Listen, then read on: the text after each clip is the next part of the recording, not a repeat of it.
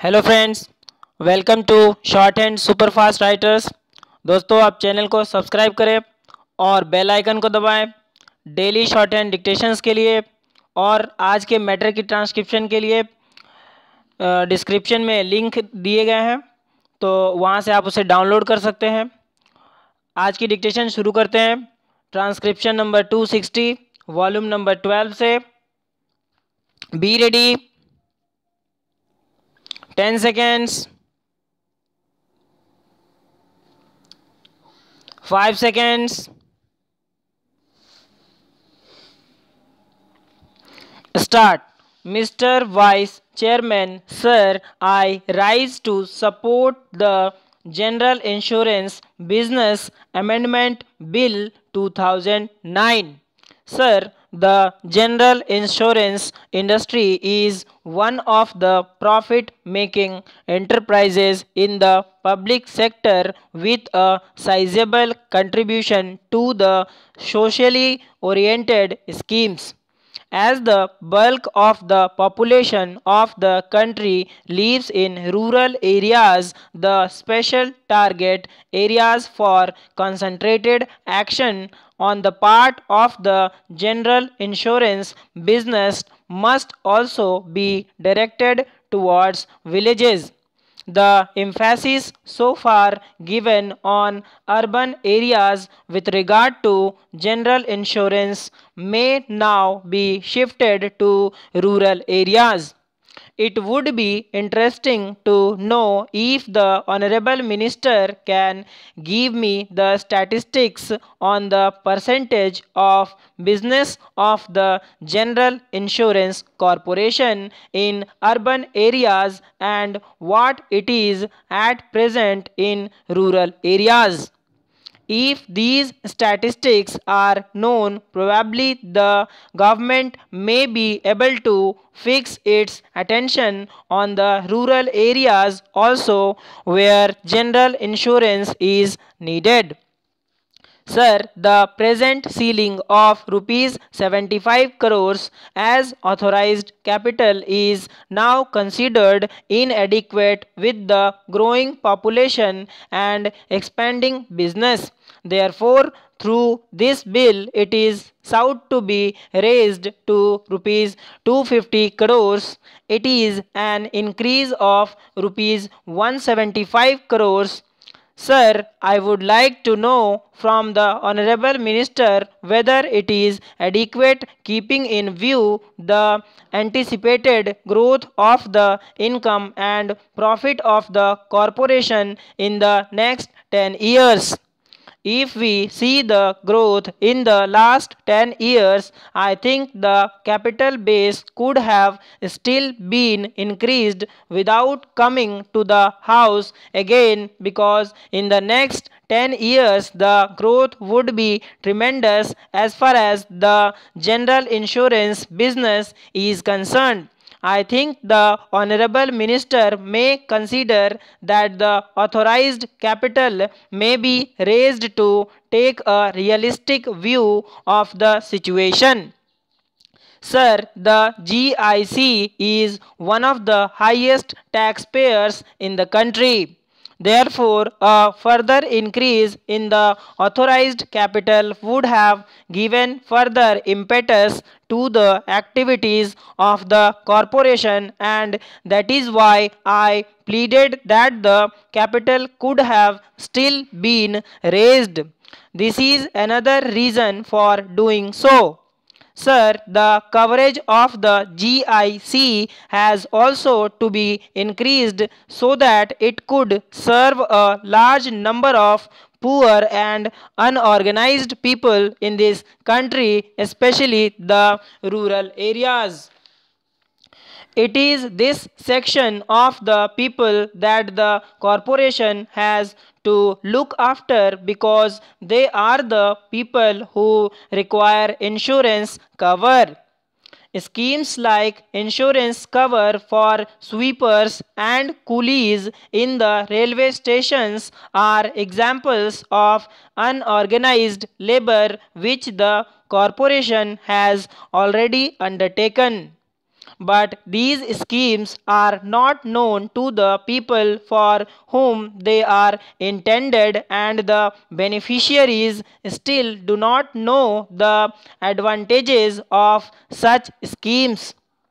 Therefore, my suggestion is that the corporation should involve my suggestion the people's representatives and the beneficiaries and these popular schemes should be further expanded and the people should know about such schemes of the general insurance corporations Sir, one of the most important problems relating to insurance is the payment of compensation and insurance claim particularly during natural calamities and during the communal and other riots. Sir, it has been my observation and concerns that these claims are not cleared within a specific period of time.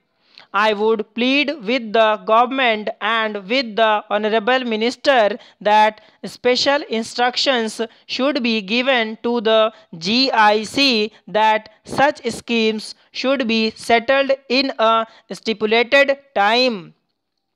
Sir, another important thing for the corporation is to seek the cooperation of registered trade unions to implement some of the progressive measures implemented by the General Insurance Corporation. Sir, the trade unions in the organized sector could play a pivotal role in the implementation of the schemes meant for poorer section and industrial laborers.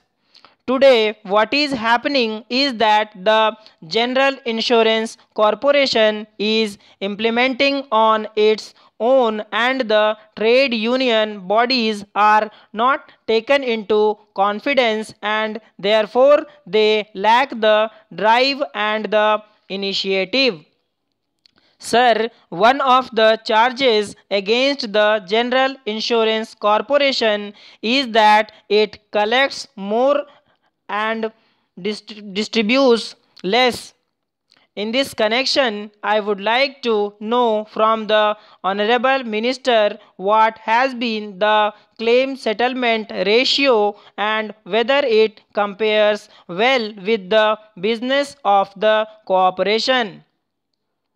Sir, another important issue at stake is the formation of a comprehensive crop insurance scheme. The present scheme should be expanded to some more crops and the outstanding payments under the crop insurance scheme should be made immediately. Sir, this is a burning issue in the state of Gujarat where rupees 110 crores are yet to be paid by GIC and this is a very crucial issue. I therefore request the Honorable Minister that the disbursal under the crop insurance scheme, particularly in the states like Maharashtra and Gujarat, should be made immediately so that we can avoid agitations, particularly from the farming community in these states. I should like to make a statement explaining what has happened and leave it to the chair to decide about this adjournment motion. Some weeks ago, government was faced with rather a difficult situation in regard to sugar. As the House is aware, we had decontrolled sugar in 1997 and sugar continued to be distributed without any intervention by the government. It was only with regard to the fixation of prices that was there used to be informal consultations and discussions between the central government and the government of Uttar Pradesh and Bihar and the industry. But even these prices were not fixed statutorily because we had decided upon decontrolling sugar. In the month of August or towards the end of July, it became apparent that as the prices of sugar were rising, government would have to take some action.